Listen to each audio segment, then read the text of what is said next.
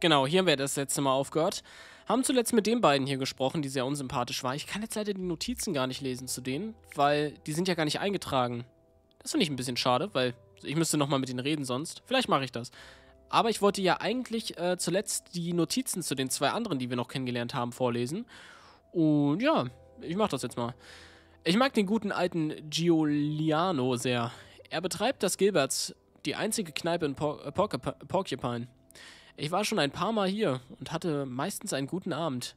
Es kam aber ein, das ein oder andere Mal zu einer Auseinandersetzung mit einem gewissen Ralf. Aber solche Zackereien gehören wohl zum Alltag des Kneipen, Kneipenwirts. Er ist äh, die Ruhe in Person. Er sieht schon so aus, er ist halt eine Schildkröte, ne? Es wundert mich nicht. Es wundert mich nicht. Ja, echt schade, dass das Spiel gecrashed ist beim letzten Mal. Das finde ich nicht so schön. Es zeigt wohl doch noch ein paar Macken. Aber es kann natürlich auch sein, dass das jetzt ein Einzelfall war, ne? Und dass es das wirklich nicht mehr vorkommt. Äh, Adele von Witterstein, anmutig, elegant, exzentrisch. Ich habe sie heute Morgen auf dem Marktplatz kennengelernt. Sie scheint eine Menge über die Geschichte von Porcupine zu wissen. Ich war noch nie sonderlich an Geschichte interessiert, aber ich möchte ein wenig über meine neue Heimat lernen. Wenn ich etwas Zeit habe, sollte ich wieder mit dir sprechen. Machen wir, machen wir. Scheint ja ganz sympathisch. Jetzt sprechen wir mit dem hier. Was der Hausmeister zu sein scheint. Guten Morgen, Gregor. Wie geht es Ihnen? Hm. Viel zu tun? Die Woche hat gerade erst angefangen und hier stinkt's schon wie im Fegefeuer. Der Gestank von Sergejs Fraß wird mir den ganzen Tag in der Sch im, im, in der was? In der Schnüss sitzen? Also schnutemäßig? Wurde der Müll nicht abgeholt? Sehe ich aus wie, der, wie die Müllabfuhr? Scheinbar nicht. Das wollte ich damit nicht sagen. Das will ich auch hoffen. Sonst landest du direkt mit ihm im Container. Ich hoffe, dass Ihr Tag heute noch entspannter wird. Du könntest dazu beitragen, weißt du das? Ach so. Wie kann ich dir Ihnen helfen? Mach keinen Müll. Mach keinen Dreck. Mach nichts kaputt. Ganz einfach. Drei ganz einfache Regeln. Und die ganzen feinen Doktorinnen und Doktoren kriegen das nicht gebacken. Ich merke es mir. Das glaube ich erst, wenn ich sehe.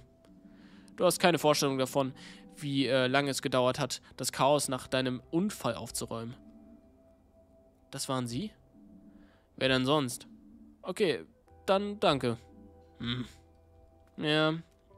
Er sollte vielleicht einen anderen Job machen. Mir scheint es sehr danach, als, als ob er den nicht mag. Und generell Live-Lesson an der Stelle macht nichts, was ihr nicht mögt als Job. Ganz einfach. Das ist immer eine schwierige Entscheidung.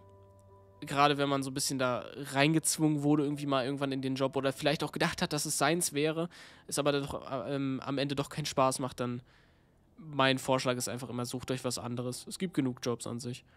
Keine Ahnung. Ich weiß nämlich immer, dass sich sehr viele damit schwer tun, dann zu kündigen. Und ich würde sagen, macht es, wenn es euch nicht mehr liegt. Gregor Glendorfer ist der Hausmeister des Krankenhauses. Er macht mir ein bisschen Angst. Ich glaube, er mag mich nicht. Ich habe Angst, dass er bald vor unserer Tür steht und uns umbringt. Das ist die Angst, mit der ich zu leben habe. okay, ähm, gehen wir mal. Oh, warte, hallo. Ich will mit Ihnen reden. Schade, weg ist sie. Übrigens, ich glaube, die Musik könnte noch mal ein bisschen lauter, ne? Ich hatte sie nämlich am Anfang ein bisschen leiser gemacht, weil ich gedacht habe, sie wird noch ein bisschen lauter. Wurde sie dann allerdings nicht. Und naja, dann habe ich mir gedacht, hey, ey, komm, bleib stehen, bleib stehen, bleib stehen. Ich will mit dir reden. Oh nein, jetzt habe ich aus Versehen die Cafeteria angedrückt. Schade, dass es keinen Skip-Button gibt zu den Gesprächen hier, wenn man da aus Versehen mal raufkommt. Das wäre nämlich auch eine nützliche Sache. Vor allem gerade nach dem Spielcrash halt. Okay, nehmen wir jetzt den Fahrstuhl oder die Treppen? An sich sind die Treppen aus meiner Erfahrung, da ist sie eben schon wieder gewesen. Äh, wir kriegen die nicht gecatcht. Aus meiner Erfahrung sind Treppen, Treppen meistens ein bisschen, naja, schneller. Aber irgendwie finde ich den Fahrstuhl schon cooler. Fahrstuhlfahren hat schon ein bisschen mehr was, ne?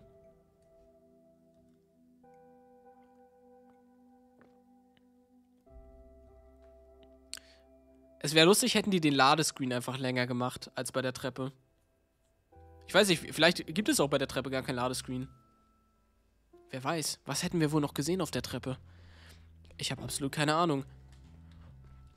Ich finde die Character Designs übrigens sehr süß. Die sind alle sehr unique und cool. Oh nein. Doktorin Ko Koworski oder wie sie hieß. Oh Gott. Wir sind so spät, oder? Ah, Finlay. Eine, eine halbe Stunde zu früh. Erfrischend. So lobe, mir, äh, so lobe ich mir das. Oh, sogar zu früh. Mensch, Finlay. Ich bin zu früh? Wirklich? Unsinn. Sie sind viel zu spät. Schon wieder. Oh Mann. Ich hasse sie jetzt schon. So eine Aktion sind uncool. Lassen Sie mich raten, der Bus fuhr nicht. Ja, tut mir leid, ich planen Sie ab sofort ohne den Bus. Sonst planen wir bald ohne Sie, verstanden? Ja, verstanden. Tut mir leid, Doktorin Krowowski. Wenn Sie erlauben, starten wir dann jetzt die Visite in Zimmer 301. Sie ist nicht nett. ja, gedacht, okay, vielleicht übertreiben wir auch ein bisschen. Vielleicht ist sie ja doch ganz nett. Nee, ist sie nicht. Sie ist ein ziemliches Monster. Gerade durch dieses, sie sind eine halbe Stunde zu früh. Oh, das lasse ich mir loben. Wirklich? Nee, sie sind total zu spät. Das, das finde ich frech. Die Toilette der Station. Wenn man Glück hat, ist sie sauber. Manchmal hört man leise Wimmergeräusche aus den Kabinen. Man sagte mir, das sei ganz normal. Oh. Weiß nicht, was ich davon halten soll. hm, komisches Krankenhaus. Okay, wir sollen auf die Station, also nicht auf die Station, sondern auf die, ähm, auf das Zimmer 301. Gibt es denn aber noch irgendwas anderes zu sehen in die andere Richtung? Irgendwen, mit dem wir sprechen wollen oder so? Oh, hier gibt's Tee oder Kaffee. Ich habe übrigens hier auch einen Tee stehen. Ganz wichtige Angelegenheit. Und hier fliegt schon wieder eine Fliege rum. Das finde ich nervig. Aber es ist so kalt derzeitig geworden, dass das Tee schon wieder. Es ist wieder die Teesaison und das mag ich. Direkt mal einen Schluck genommen. So, ähm, rein hier. Das ist sogar ein ziemlich großes Zimmer. Echt eine große Station. Oder ein großes Krankenhaus an sich. Gerade für eine kleine Stadt. Hier haben wir Frau Martin. Guten Morgen, Sie sind ja ganz schön spät dran. Wem sagen Sie das, Frau Martin? Hm. Frau Martin hat es eilig, nach Hause zu kommen. Das ist ein gutes Zeichen. Etwas Ruhe brauchen Sie jedoch doch, äh, noch. Also, Frau Martin kam gestern mit Schmerzen im oberen Bauchraum zu uns. Zudem klagte sie über Sa äh, Sodbrennen, Übelkeit und Appetitlosigkeit. Ja, aber der eigentliche Grund war ein Stechen im Herzen. Da hatte ich Panik bekommen und den Notarzt gerufen. Ich hatte solche Schmerzen, dass, mich, dass ich mich kaum bewegen konnte. Das war auch absolut richtig. Irgendjemand eine Idee, mir? Ich? Also. Jetzt spucken Sie es schon aus. Äh, ja. Schwür? Ein Magengeschwür? Ist das eine Frage oder Ihre Antwort? Meine Antwort. Bingo! Der Grund ist ein Magengeschwür. Die Ursache müssen wir noch untersuchen. Bisher weist äh, nichts auf eine Gastritis oder dergleichen hin. Also, Frau Martin, Sie werden vermutlich noch eine weitere Nacht hier bleiben. Wir werden Ihre Werte später noch einmal checken. Versuchen Sie, äh, sich zu entspannen. Finnland, Sie werden sich doch später noch um die Medikation von Frau Martin kümmern. Weiter geht's ins Zimmer 303. Auf, auf, auf, zack, zack. Haben wir nicht so einen Stress? Patienten brauchen ihre Ruhe. Aua. Ich habe das Gefühl, da sollte jemand noch ein paar Nächte hier bleiben. Das hört sich nicht gut an. Wenn vom Patienten selber noch Schmerzen kommen, dann, äh, ich weiß nicht. Okay, 303, ne? Ich denke doch, das sollte hier sein. Mal sehen, was es jetzt ist. Wir ignorieren einfach die immer, die am Start liegen? Okay. Na, Larisa, wie geht es uns heute? Ganz okay, Doktorski. Das hört man doch gerne. Kannst du für uns ein paar Mal tief ein- und ausatmen? So wie gestern Abend? Na klar, Achtung. Hm. Sorry, Dr. Krokowski. Äh, Doktorin Krokowski. Alles gut. Das war sehr, sehr gut. Wie sieht's aus? Willst du meinem Team hier erzählen, warum du hier bist? Ja, kann ich machen, Dr. K. Doktorin K. Muss ich mir noch angewöhnen. Ähm, also, Ich war unten an, äh, an der Schule mit den anderen. Wir waren hinten im Skatepark. Ich kann gar nicht so gut skaten. Ich habe das Skateboard erst zum Geburtstag bekommen. Aber ich will es ganz sicher noch lernen. Mein Brett ist super cool. Es hat grüne Rollen und das Grip-Tape ist voll schwarz und noch ganz neu. Ich habe gehört, dass manche Kinder absichtlich ihr Skateboard zerkratzen, damit es cooler aussieht. Kann ich nicht verstehen. Unter meinem Brett ist ein großes Bild von einem Roboter. Das ist viel zu cool. Das soll nicht verkratzen. Aber was habt ihr unten an der Schule gemacht? Ach so. Ähm, naja, also. Das war so. Mein Kumpel Christo hat Zigaretten von seinem Stiefvater gemobst. Er meinte, wer gut skaten will, muss auch rauchen.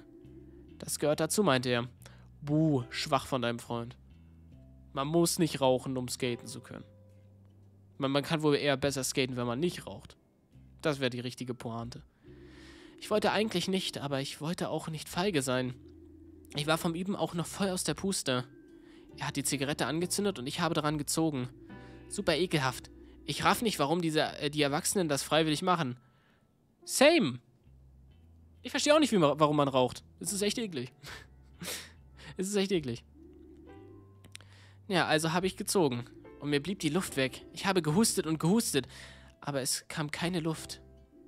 Da bin ich umgekippt. Zum Glück haben meine Freunde schnell den Notarzt gerufen. Ja, also, so war das. Danke, Larissa. Das hast du sehr gut erklärt. Also, ich höre Ihre Meinung, meine werte Kollegin und mein werter Kollege. Was denkst du, Finlay? Hm. Ich weiß es, Dr. Krowowski, Doktorin Krowowski. Hat es mir schon erzählt. Nicht vorsagen, Larissa. Oh, okay, sorry. Dok Doktorowski. Hihi. Asthma. Es könnte ein asthmatischer Anfall gewesen sein. Ja, Asthma klingt logisch. Jep, logisch und korrekt. Ein Glücksgriff. Ohne die Hilfe von meiner Assistentin Larissa wären sie sicher nicht darauf gekommen. Hihi. Gut, Larissa. Mach schön weiter deine Atemübungen, aber über, überanstrenge dich nicht. Mach ich, Dr. Doktorin Krowowski? So, letzte Station für heute ist Zimmer P33. Ach, und Findlay. Sie kennen den, äh, den Patienten bereits. Er ist Herr Willi. A Andres. Oh, das ist, den kennen wir da wirklich schon.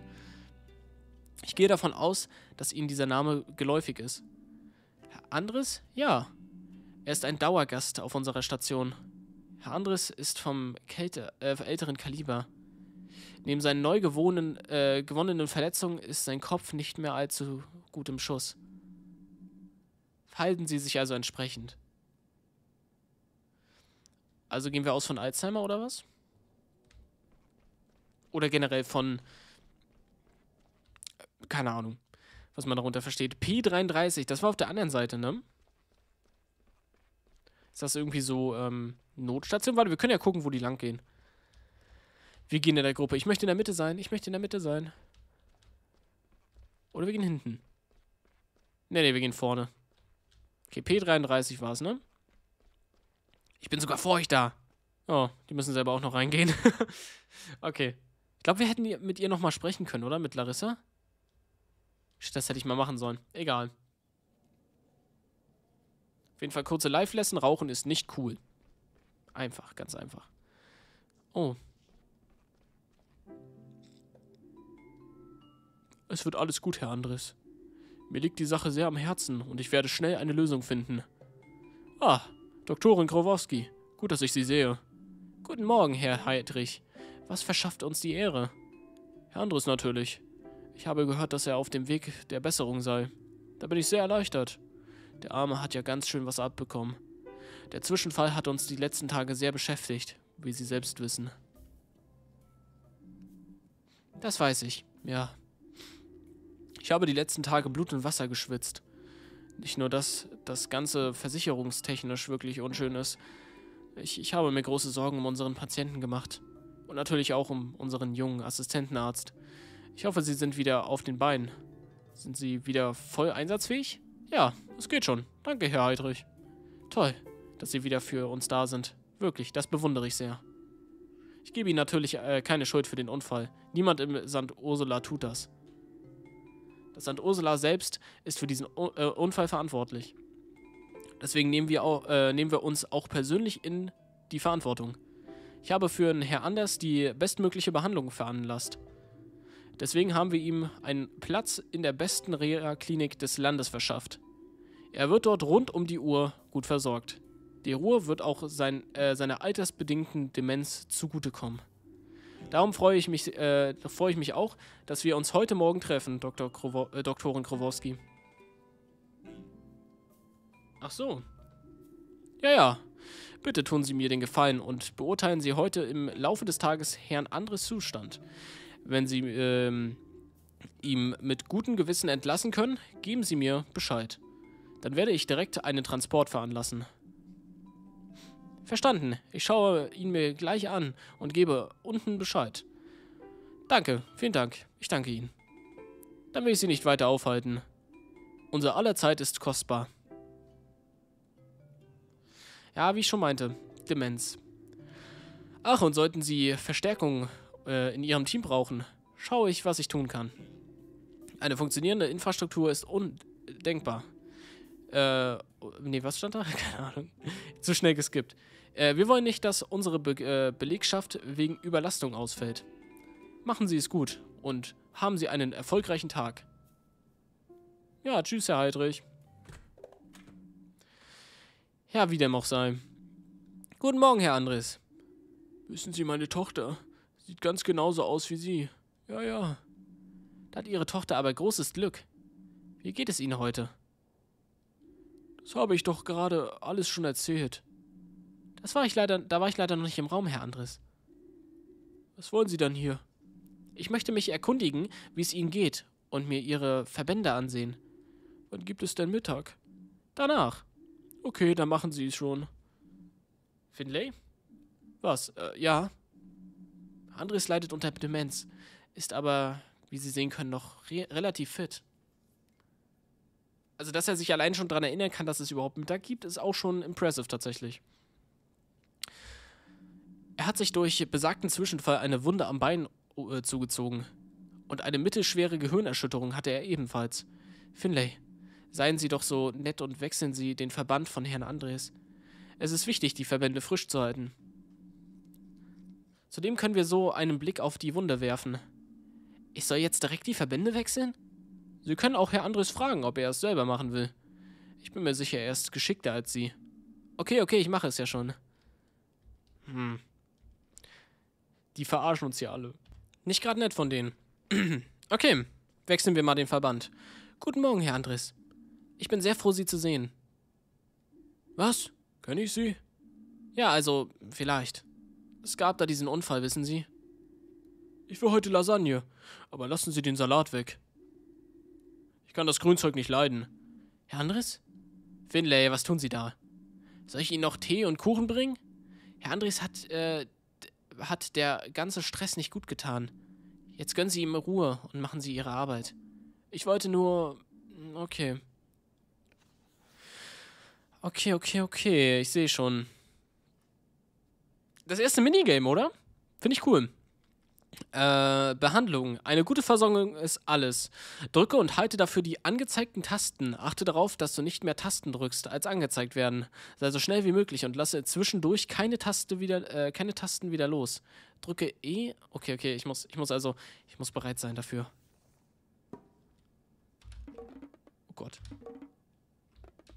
Ach, warte mal. Erst, erst wenn die kommen. Okay.